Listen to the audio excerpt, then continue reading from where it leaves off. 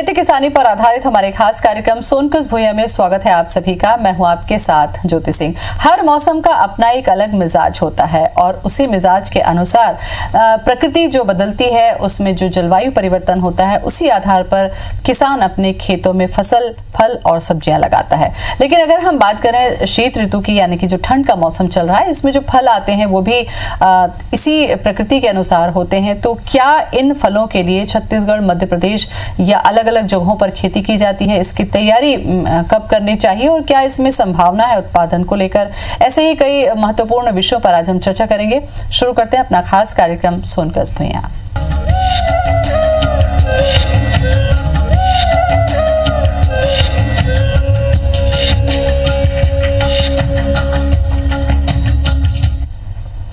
Strawberry की खेती जो है वो बहुतायत में ऐसे इलाकों में की जाती है जो बहुत ज़्यादा ठंडे प्रदेश हों क्योंकि बहुत नाजुक इस फल को समझा जाता है। पौष्टिक ये होता है स्वादिष्ट होता है और दिखने में भी बड़ा ही खूबसूरत होता है। तो उसकी खेती से जुड़ी जानकारी हम लेंगे। हमारे साथ जुड़ चुके हैं कृषि विश्वविद्यालय के वरिष्ठ कृषि वैज्ञानिक डॉक्टर घनश्याम साहू। घनश्याम जी बहुत बहुत स्वागत है आपका। जी नमस्कार। घनश्याम जी अभी अपनी बातचीत में मैंने कहा कि मौसम के आधारित जो फल सब्ज़ियाँ होती हैं वो मार्केट में आती हैं और किसान उत्पादन भी लेता है।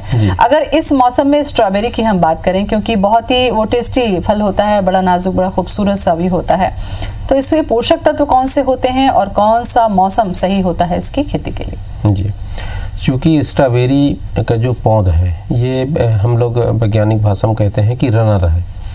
मतलब फल होते हुए भी ऐसा कोई पेड़ नहीं बनाता, स्ट्रॉबेरी बिल्कुल ज़मीन में लदा हुआ छोटा सा पौध है, लेकिन वैज्ञानिक तौर पे और वनस्पतिक तौर पे इसके फल को हम लोग फल कहते हैं मतलब फल में रखते हैं। बात आती है कि स्ट्रॉबेरी ठंड में ही कह दीजिए कि खुले वातावरण में हम लोग लगा सकते हैं जहाँ पर तापमान काफ़ी ठंड हो 18 के नीचे आए 10 के नीचे आए तो वहाँ पर स्ट्रॉबेरी की संभावनाएँ बहुत ज़्यादा बढ़ जाती है। और चूँकि हमारे प्रदेश में चाहे मध्य प्रदेश हो बालाघाट का एरिया हो और मतलब जंगल का एरिया हो जहाँ पे रात में ठंड तेज़ी से कम होता है तो उन सब स्थानों पर स्ट्रॉबेरी की खेती की जाती है। ज्योति जी आपने कहा कि इसमें पोषक तत्व की क्या संभावना है? सबसे पहली बात तो स्ट्रॉबेरी का जो कलर जैसे हम लोग देखते हैं वाइट तो कह दीजिए कि जो W B W B C है जो वाइट ब्लड कार्पल्स की जो बात करते हैं और रेड कलर का जो आता है वो हीमोग्लोबिन रिच स्ट्रॉबेरी है। इसके साथ साथ इसमें कह दीजिए कि मिनरल्स की जो मात्रा है जैसे पोटेशियम है मैग्नीशियम है कैल्शियम है इनकी प्रचुर मात्रा स्ट्रॉबेरी में पाई जाती है। बशर्ते यही है कि स्ट्रॉबेरी की सेल्फ लाइफ बहुत कम है। मतलब पकने के बाद बहुत ज़्यादा दिन तक नहीं रख नहीं रख सकते। इसलिए अगर स्ट्रॉबेरी का स्वाद लोगों को साल भर लेनी है तो फ्रेश स्ट्रॉबेरी तो खाए ही खाए जिसमें विटामिन और प्रोटीन की मात्रा तो है ही है। और इसके बाद इसके जो प्रसंस्करण वाली उत्पाद है जैसे जेम। खा सकते हैं। हाँ, बिल्कुल जेम है जेली है ये सब बना कर रखें तो स्ट्रॉबेरी का स्वाद भी लेंगे और स्ट्रॉबेरी की आइसक्रीम भी बना के लोग रख सकते हैं क्योंकि इसमें न्यूट्रिशन की बहुत ज़्यादा संभावनाएँ हैं। और साथ में स्ट्रॉबेरी में कुछ चीज़ें और है जो अपन कह दीजिए कि मल्टीपर्पज़ इसको यूज़ कर सकते हैं। मतलब स्ट्रॉबेरी में जैसे मैं बताया कि आइसक्रीम बना के जेम जेली बना के और नेक्टर वगैरह भी बना सकते हैं। तो ये काफ़ी अच्छा फल है और बहुत कम समय के लिए आता है। इसलिए विशेष तौर पे किसान भाइयों को ठंड की ऋतुओं में स्ट्रॉबेरी की खेती किसान भाइयों को करनी चाहिए। घनश्याम जी जैसा कि आपने ज़िक्र किया सफ़ेद लाल या दूसरे रंगों की इसका मतलब ये है कि स्ट्रॉबेरी की किस्में भी क्या मार्केट में बहुत ज़्यादा होती हैं? आ, ये भी क्या ज़मीन और जलवायु के आधार पर किसान लगाता है? वैसे हम लोग कहते हैं कि स्ट्रॉबेरी चूँकि ठंड प्रदेशों में होती है तो जहाँ पर कम ठंड है वहाँ पर कम ठंड में भी उत्पादन वाली किस्में ही ज़्यादा पॉपुलर हो पाता है। ठंड प्रदेशों वाली किस्में तो लगाए ही जाते हैं लेकिन कम ठंड प्रदेशों में भी आसानी से उग जाए। उन्हीं किस्मों का प्रचार प्रसार ज़्यादा हुआ है और उन्हीं किस्मों को हमारे यहाँ भी इंदिरा गांधी कृषि विश्वविद्यालय में अ, हम लोग पीएफडीसी में सुनियोजित कृषि विकास केंद्र पीएफडीसी में भी स्ट्रॉबेरी हम लोगों ने लिया और काफ़ी अच्छा उत्पादन मिला।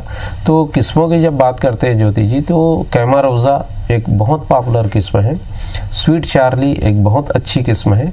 तो ये दोनों किस्म और नीविया नाबिला करके है नाबिला है नीबिया है तो नाबिला ज़्यादा पॉपुलर है तो नाबिला है कैमरोजा है और स्वीट चार्ली। ये तीन किस्म ही आ, हमारे प्रदेश के लिए काफ़ी उपयुक्त है मध्य प्रदेश के लिए और इवन उत्तर प्रदेश के नैनीताल एरिया के लिए। वैसे चौबटिया एरिया में चौबटिया की चौबटिया स्ट्रॉबेरी की भी लोकल किस्में आती है। तो ये किस्म यूनिवर्सल है दूसरे प्रदेशों में भी लगाए जाते हैं दूसरे देशों में भी लगाए जाते हैं और इन किस्मों को खुले वातावरण में बहुत आसानी से ठंड के दिनों में लगाई जा सकती है। अब थोड़ी मध्य प्रदेश और छत्तीसगढ़ की भी हम चर्चा करेंगे घनश्याम जी क्योंकि छत्तीसगढ़ को सबसे गर्म प्रदेश कहा जाता है। ऐसे में यहाँ के भी कुछ इलाके ऐसे हैं जहाँ पर ठंड बहुत अच्छी पड़ती है जैसे अंबिकापुर हो गया मैनपाट हो गया या फिर इधर बस्तर का कुछ इलाका है। हम्म। तो क्या यहाँ के किसान इस तरफ़ कुछ प्रयोग कर रहे हैं या उत्पादन के लिहाज से कहाँ पर काम हो रहा है? बिल्कुल जैसे 2013 में हम लोगों ने स्ट्रॉबेरी कृषि विश्वविद्यालय के मुख्य कैंपस में लगाए 2015-16 में मेन पार्ट हमारा जो फल अनुसंधान आलू एवं फल अनुसंधान केंद्र की स्थापना हुई तो इमीडिएट स्ट्रॉबेरी की खेती मेन पार्ट में मतलब अच्छे मात्रा में मैं कह दीजिए कि अच्छे क्षेत्रों में लगाए गए हम्म। इसके साथ साथ रायगढ़ में जैसे बोलते हैं कि शंकरगढ़ जो ब्लॉक है हम्म।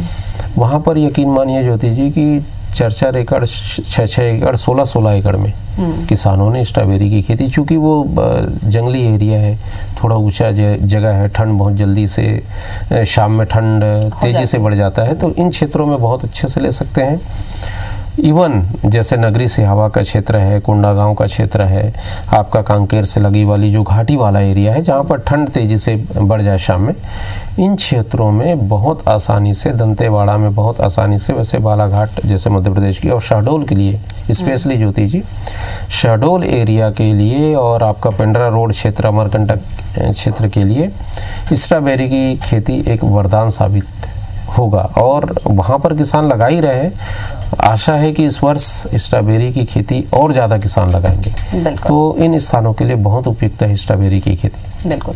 आ, पानी की जो स्थिति है या खाद या तैयारी की भी जो जानकारी है घनश्याम जी वो भी मैं आपसे लूँगी। आज हम चर्चा कर रहे हैं स्ट्रॉबेरी की खेती के बारे में।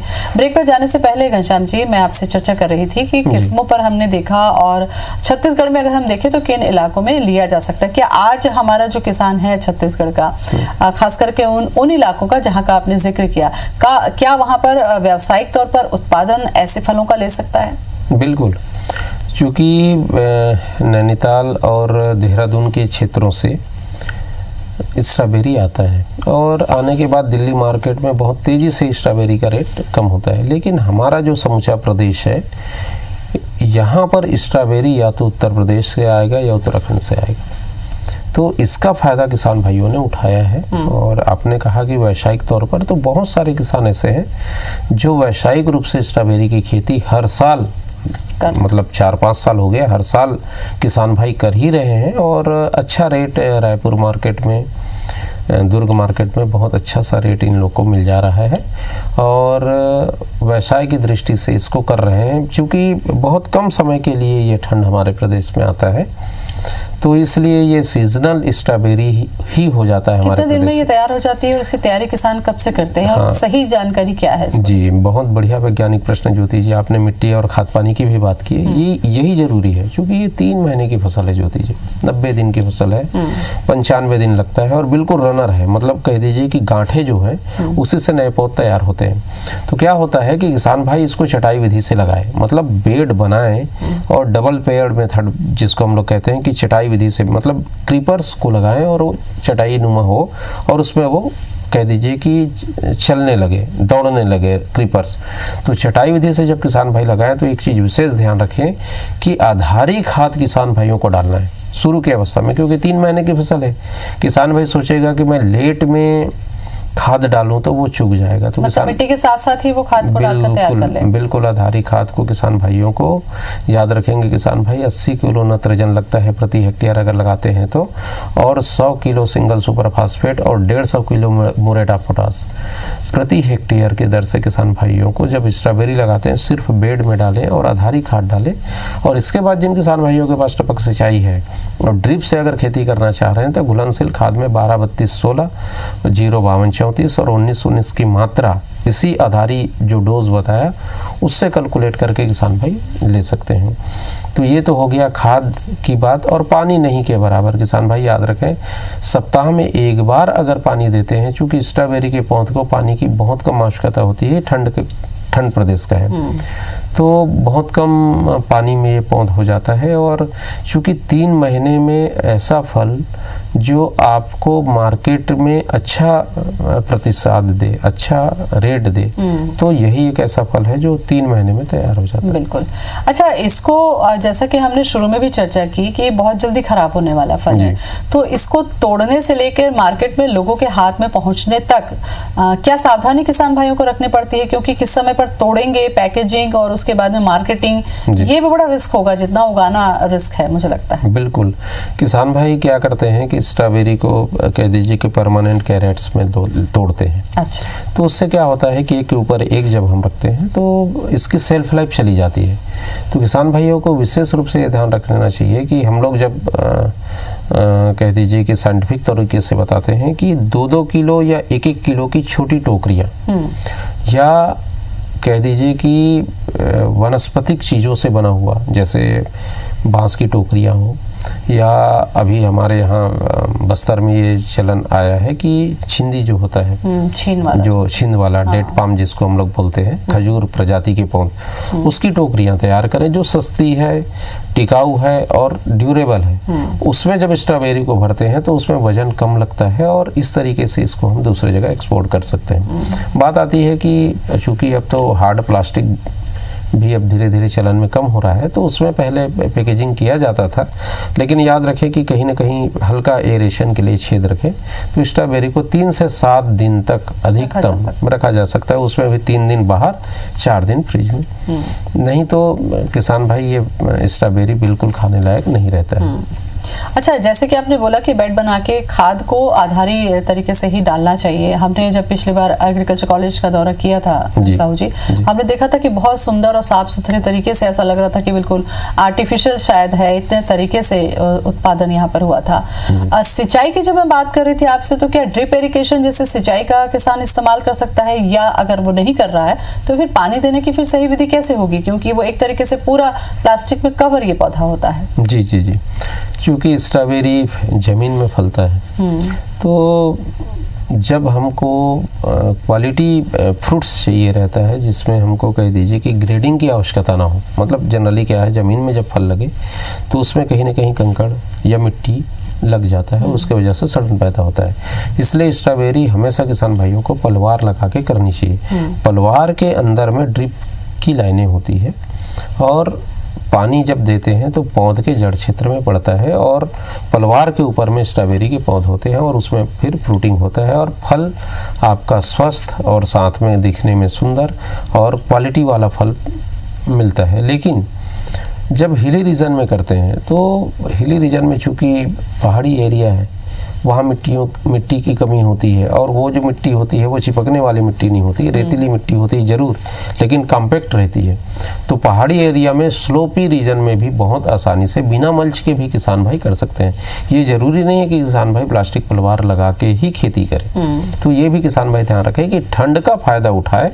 और उसमें स्ट्रॉबेरी की खेती करे और पलवार प्लास्टिक की लगाने की आवश्यकता नहीं है पैरे की पुवाल भी रख सकते हैं तो उससे खरपतवार नहीं उगता है पानी की सेविंग होती है खाद की सेविंग होती है और पैरे की पुआल में जब स्ट्रॉबेरी के फल लगते हैं तो उसमें कह दीजिए कि मिट्टी लगने की संभावनाएँ नहीं बराबर होती है हम्म। और फल आपका काफ़ी अच्छा प्राप्त होता है और सड़न की संभावनाएँ भी नहीं बराबर हम्म। होती जैसा कि आपने कहा कि ये जो है पौधा पेड़ की शक्ल नहीं लेता है और नब्बे से पंचानवे दिन में ये पूरा तैयार हो जाता है। तो इसका मतलब ये है कि बेल की शक्ल में ही बढ़ता है। तो इसको लेकर क्या सावधानी है वो भी मैं आपसे चर्चा करूँगी। साहू जी अगर हम इस पौधे की बात करते हैं आ, कितनी दूरी में ये लगाया जाता है और इसको बढ़ने के बाद में क्या हमको आ, मचान जैसा या कुछ जाल नुमा जैसे कि दूसरी नार वाली सब्जियों में हमने देखा है। क्या उस तरीके से किसान तैयारी करता है ताकि पौधे भी सुरक्षित रहें और फल भी अच्छा है? बिल्कुल।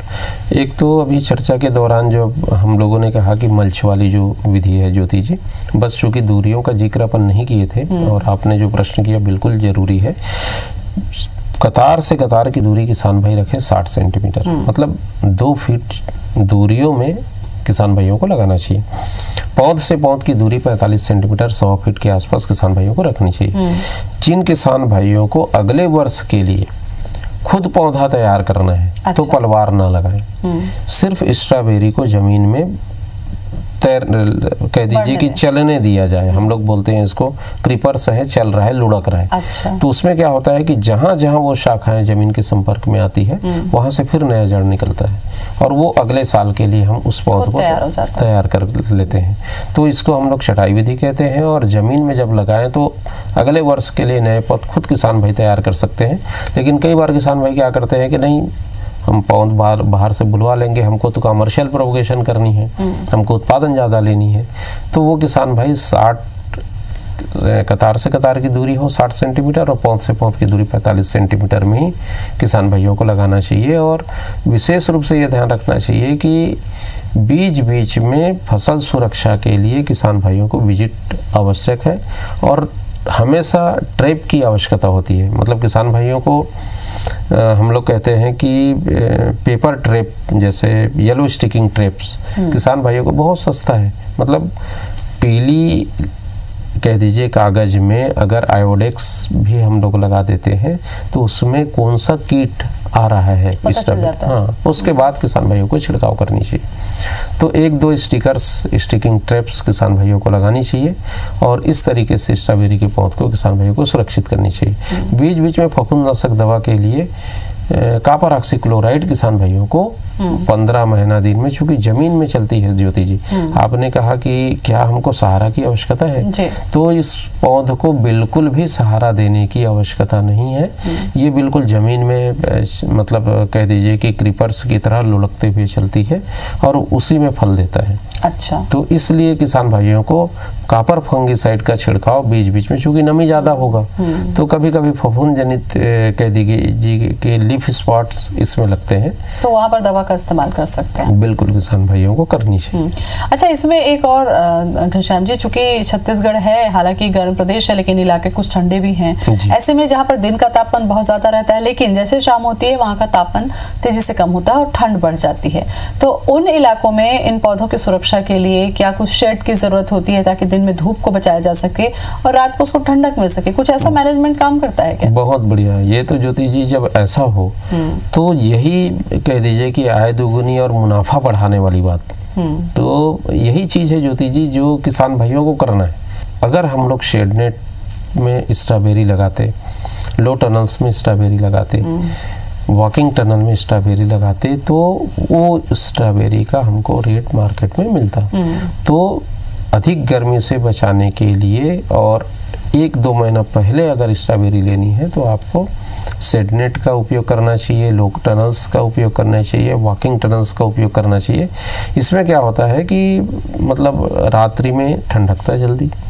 और दिन में गर्मी से हम बचाव बचा सकते हैं और फ़सल की क्वालिटी ही अलग होती है जब इस तरीके के संरक्षित बागवानी में स्ट्रॉबेरी की खेती की जाती बिल्कुल इसीलिए मैंने ये सवाल किया था घनश्याम जी। यहाँ पर एक महत्वपूर्ण सवाल चूँकि अब समय मेरे पास में कम है वो ये कि जो किसान भाई पहले से करते आ रहे हैं उनके पास तो ठीक है व्यवस्था लेकिन जो नया करना चाहें उनके लिए कृषि विश्वविद्यालय की क्या भूमिका होगी कैसे बीज कैसे वो पौधा तैयार करेंगे कहाँ संपर्क करेंगे इससे जुड़ी जानकारी ज़रूर दे दीजिए आप। जी हमारे यहाँ इंदिरा गांधी कृषि विश्वविद्यालय में फल विज्ञान विभाग जहाँ पर मैं भी कार्यरत हूँ और हमारा सुनियोजित कृषि विकास केंद्र पीएफडीसी और वैसे ही हमारे यहाँ सेंटर ऑफ़ एक्सीलेंस यहाँ भी हम लोगों ने स्ट्रॉबेरी लगाया। है अभी कृषि स्नातक स्नातकोत्तर छात्रों द्वारा भी स्ट्रॉबेरी विगत वर्ष लगाए थे। तो किसान भाई हो पौध भी आप तैयार कर सकते हो क्योंकि विश्वविद्यालय आपको तकनीकी जानकारी मतलब पौध लगाने से लेके पौध मंगवाने तक की जानकारी क्योंकि हमारे यहाँ महाबलेश्वर जो सेंटर है महाराष्ट्र में वहाँ से पौध बहुत आसानी से क्योंकि किसान जब लगाना चाहेगा तदात मात्रा में लगाना चाहेगा। तो वो प्लांटिंग मटेरियल के लिए हम लोग कृषि विश्वविद्यालय अगर किसान भाई आते हैं तो वहाँ से हम लोग पूरी तकनीकी जानकारी कैसे लगाना है स्ट्रॉबेरी और पौध कहाँ से किसान भाइयों को बुलवाना है इनकी संपूर्ण जानकारी हम लोग वैसे हमारे यहाँ जो शिमला सेंटर है शिमला वगैरह में जो सरकारी हमारा इंस्टीट्यूट है वहाँ से भी किसान भाई जानकारी स्ट्रॉबेरी की पौधा ले सकते हैं जानकारी भी ले सकते हैं। बिल्कुल। तो काफ़ी महत्वपूर्ण जानकारी आज हमारी बातचीत में निकली घनश्याम जी बहुत बहुत शुक्रिया आप जी धन्यवाद। और इसी के साथ हमारे खास कार्यक्रम सुनकर भुइया में आज बस इतना ही। मुझे दें इजाज़त। नमस्कार।